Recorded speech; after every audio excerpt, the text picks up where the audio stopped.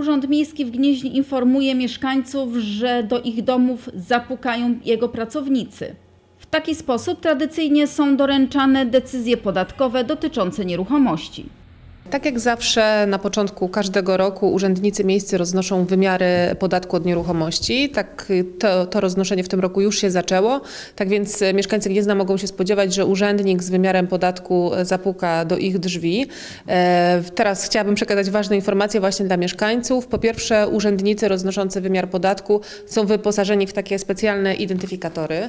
Tu mam taki przykładowy identyfikator. E, identyfikator ze zdjęciem, z imieniem i nazwiskiem, a także z numerem telefonu e, do Straży Miejskiej.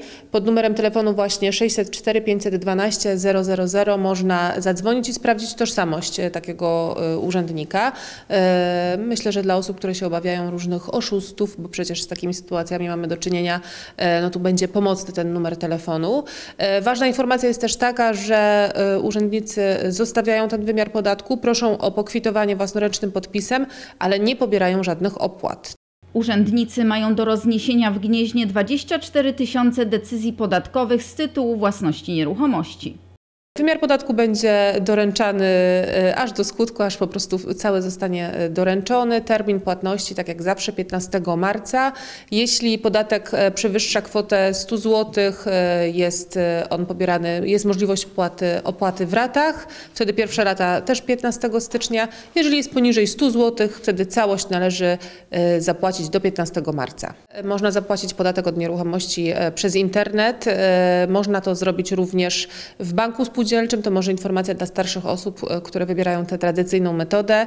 W banku spółdzielczym w kilku oddziałach w Gnieźnie nie pobierane są opłaty e, właśnie z tytułu takiej płatności. I ważna też informacja, że od kilku lat w Urzędzie Miejskim nie działa już kasa. Niektórzy mieszkańcy, mieszkańcy jeszcze są przyzwyczajeni, że podatek od nieruchomości płacili w kasie w urzędzie. Takiej możliwości już nie ma. Przypomnijmy, że podatek od nieruchomości w porównaniu do roku ubiegłego będzie wyższy o 15%.